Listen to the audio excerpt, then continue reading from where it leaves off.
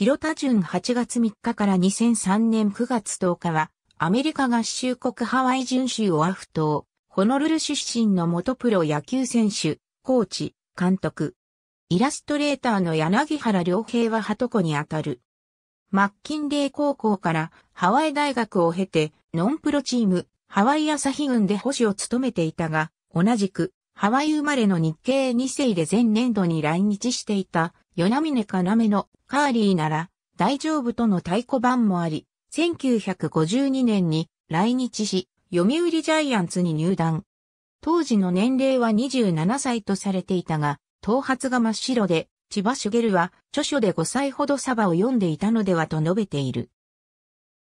1年目から79試合にマスクをかぶって、クスノキ強労を押しのけて、正捕手となり、同年オールスターゲームにも出場する。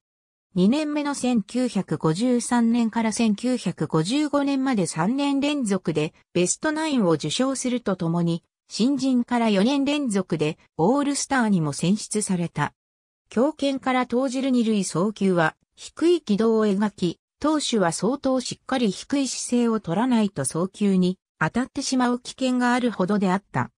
ワンバウンド投球に対して身を挺して体で止め、めったに反らすことはなかったが、上半身には投球が当たった青技が多数あった。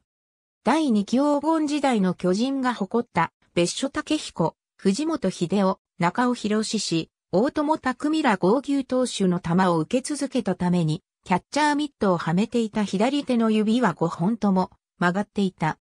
一方、ミノコなしは軽く、入団早々ファウルボールを追いかけて、ベンチに倒れ込んだが、怪我をしなかった。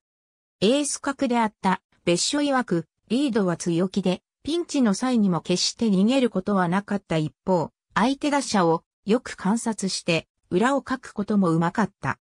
1954年頃から若い藤尾茂の台頭により、徐々に出場試合が減り始め、1955年の南海との日本シリーズで藤尾が大活躍して、以降はレギュラーを譲る形となり、1956年限りで現役を引退。保守として423試合出場は NPB の外国人選手として最多である。引退後はハワイに戻ってアマチュア野球の指導をしていたが、近鉄でスカウト、2軍監督1軍バッテリーコーチを歴任。2003年9月10日に老衰のためアメリカハワイ州ホノルル郊外の老人ホームで死去。78歳没。ありがとうございます。